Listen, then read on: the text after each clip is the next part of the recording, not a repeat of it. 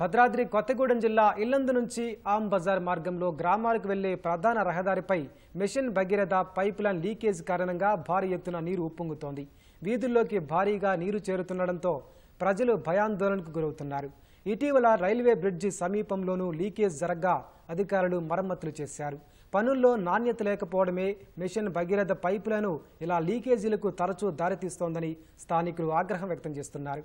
రాష్ట్ర వ్యాప్తంగా మిషన్ భగీరథ పనులు నాసిరకంగా చేపట్టారని కమిషన్ల కోసం కాకుండా ప్రజల కోసం నాణ్యత ప్రమాణాలతో కూడిన పనులు చేయాలని తెదేపా నాయకుడు ముద్రగడ వంశీ డిమాండ్ చేశారు.